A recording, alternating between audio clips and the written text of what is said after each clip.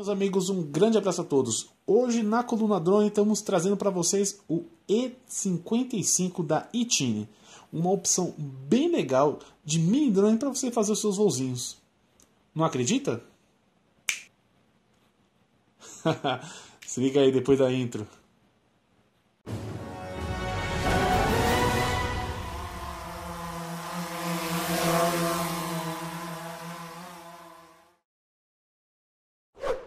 Salve, salve galera! Muito obrigado para você que está aqui junto com a gente na Coluna Drone nessa oportunidade, nesse vídeo.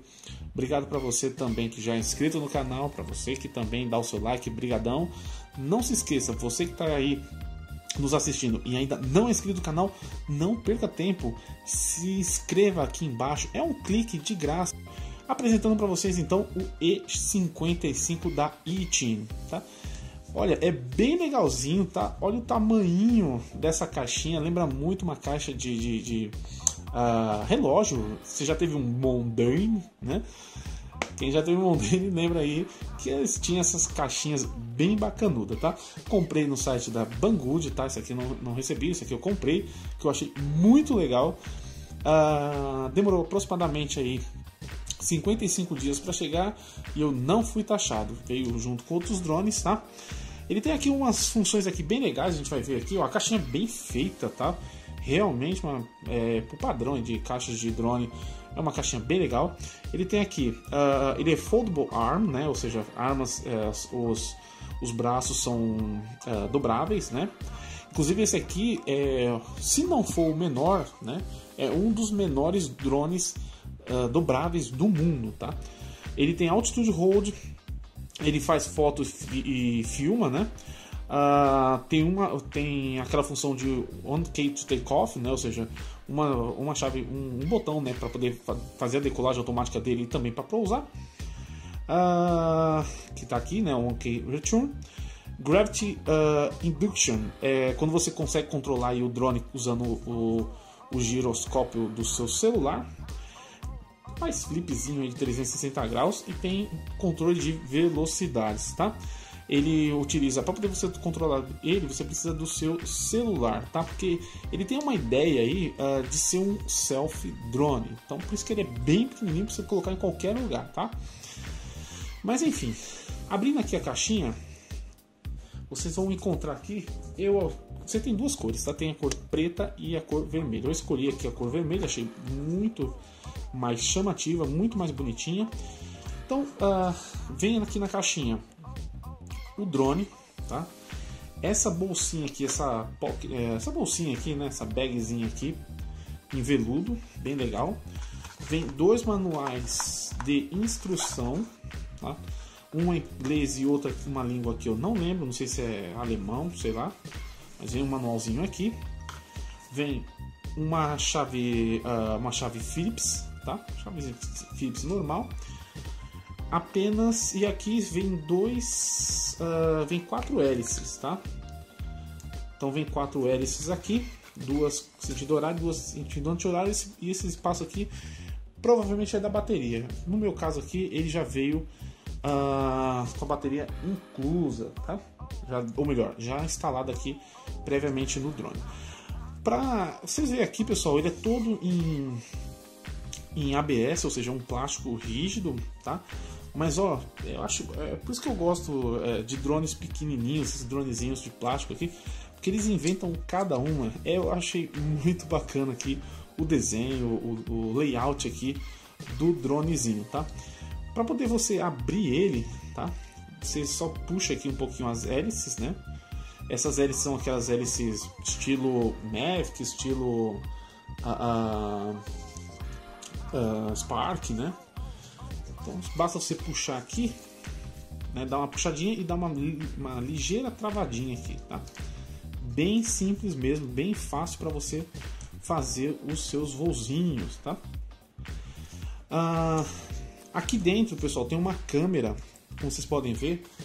É, embora eles falem que é um, um self drone, tá? Mas a qualidade da imagem ela é realmente bem, bem baixa, tá? Essa câmera aqui, na verdade, ela é VGA, tá? Ela é de 0.3 uh, ah, pixels, né? Ou seja, uma resolução bem baixinha mesmo, tá? e filma em 720 por 500 e se não me falha a memória 598 uh, o tamanho aí do vídeo, tá? A resolução máxima do vídeo. Aqui nós temos aqui nós temos um, um anteninha dele, tá? Como vocês podem ver, tá? Ele tem LEDs, aqui eu vou ligar já já para vocês verem também. Junto com o drone acompanha aqui na parte interna uma bateria, tá? Essa bateria aqui é de 300 mAh de 3.7 volts, ou seja, de uma célula 3.7 volts, tá? Ele vem desconectado, tá? Então é só conectar aqui e vem uh, o carregadorzinho, tá? Aquele carregador normal, vou deixar a foto dele aqui que eu estou carregando outras baterias com ele. É esse carregadorzinho que acompanha o seu drone. Tempo de carga aproximadamente 50 minutos, tá? Pelo menos foi o que eu consegui aqui. 50 minutos. Tempo de voo com essa bateria em torno de 6 minutos. Embora no site da Banggood fala que é de 6 a 8, 8 o drone já não está mais nem voando, tá? Uh, eu em todos os voos aqui eu consegui aí entre 6, aproximadamente 6, é, 6 minutos em média, tá bom? Para ligar o drone é bem simples, basta você apertar esse botão aqui. Ele tem alguns LEDzinhos aqui na parte interna do, do, do mini drone. E aqui também, ó, nós, na, uh, aqui na, na, na, na, nos bracinhos dele aqui, tá? Então são dois vermelhinhos na parte posterior, né, na cauda do drone, e duas azulzinhas para a parte da frente, aonde tem a câmera. O sentido de voo está indicado aqui, tá certo? Bem legalzinho mesmo, pessoal. Uh, agora eu vou mostrar para vocês aqui o aplicativo. Vou pegar outro celular aqui e mostrar para vocês que bacaninha, que coisas legais que dá para fazer com esse dronezinho. Esse aqui é o manual do que acompanha aí o seu mini drone que eu mostrei agora há pouco aí no, no início do vídeo. É um manualzinho da Itine que vem bem, uh, bem explicadinho. Os manuais da Itine são bem legais, vem com desenhos, figuras aqui tudo mais. Uh, mas a letrinha é bem miudinha, tá? Se você tiver problema de vista, querido, você vai sofrer para poder ler esse manual. Então, mas eu recomendo a leitura e se esforce aí para ler sempre, sempre manuais de drone, pessoal. É sempre legal dar uma lidinha, porque sempre aparece alguma coisa aí, o drone faz alguma coisa interessante uh, que estão com que aí estão aí presentes aqui no manual de instruções dos drones, tá? Bom, eu abri aqui o manual para mostrar para vocês aqui o isso aqui que é muito importante, tá? O QR Code que acompanha, que está lendo aqui no, no, manual, que você vai fazer aqui, vai uh, usando o seu aplicativo de QR Code, você vai acessar a loja se você usar uh, Android ou então uh, iOS, né? Então você vai acessar lá a loja do, do, do seu celular, né? No meu caso aqui é da, do Android. E aí você vai procurar por esse ícone aqui, ó. Tá? Porque esse aqui é o aplicativo lá do glorioso uh, AirFan UFO, tá? Então é esse aplicativo que você vai fazer o download, que inclusive já está aqui, tá? Já está presente aqui com que eu já fiz o download é, previamente, tá? Bom, Feito o download, vocês vão abrir aqui, ó, vocês vão ligar o drone, tá? Antes de mais nada, vocês vão ligar o drone e vão ligar aqui o seu sistema, o seu Wi-Fi, tá? O...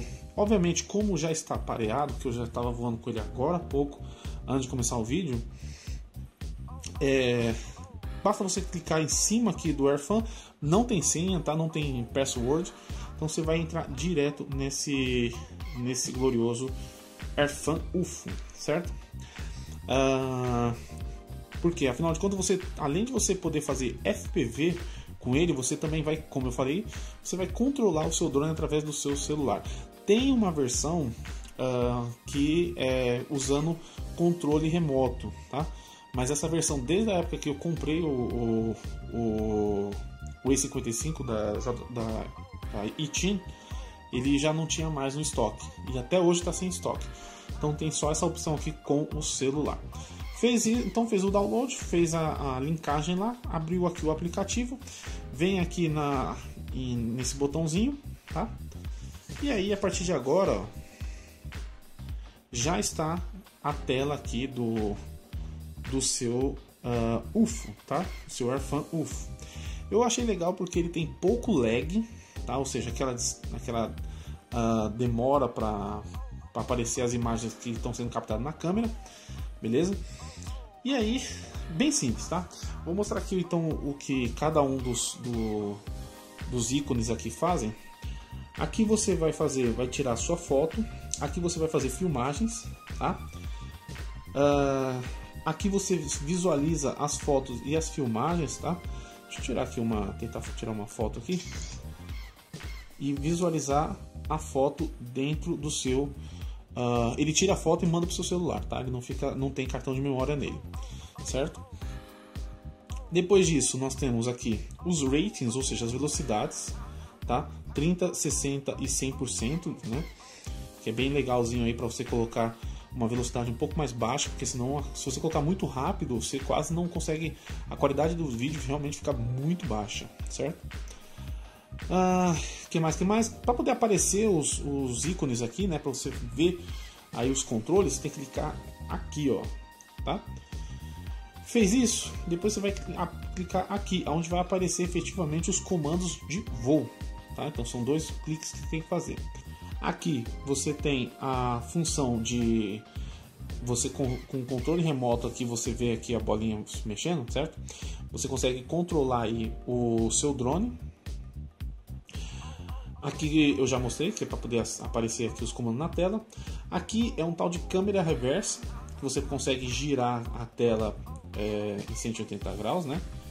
Não sei muito bem a utilidade disso, mas tudo bem. Uh, você clicando aqui em 3D, você tem aí um, um seu óculos FPV. Você clicando aqui em 3D, você consegue fazer aí uh, você consegue fazer voos aí utilizando seu VR Box, por exemplo, tá? Mas nesse caso aqui não é possível, porque afinal de contas você precisaria do controle remoto também, tá certo? Aqui você tem a função Headless Mode, tá? Para você fazer o drone uh, ter aquela funçãozinha lá de, de sem, sem proa, vamos dizer assim, né? Por isso que é o nome de Headless Mode. Headless Mode. E aqui você, uh, apertando, clicando aqui, você calibra os giros, né? O, o giroscópio do seu drone, caso você tenha.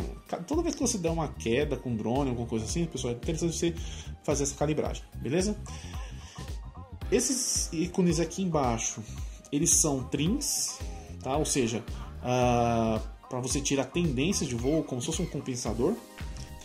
Aqui você ativa, nesse ícone aqui você ativa o 3D, o, o flip, tá? Então você clica ne, ne, nesse ícone aqui e aí você seleciona aqui no, no comando, no, no, no, stick direito aqui, né? O que seria o stick direito. Se você quer um roll ou então um roll, então um, uh, um flip, beleza? que mais? que mais? Essa aqui é uma função interessante. Apertando aqui, você desenhando aqui na tela, o drone vai executar esse desenho aqui, tá? Mas uh, ele tem altitude hold, tá? Esse microdrone aqui. Porém, não espere um altitude hold, um barômetro uh, top, né? Ou seja, é, perfeito, né? Ele não vai manter muito. Então é interessante que você às vezes, de repente, você perceber que ele está descendo, dá um totalzinho aqui de potência para ele voltar a subir, tá bom?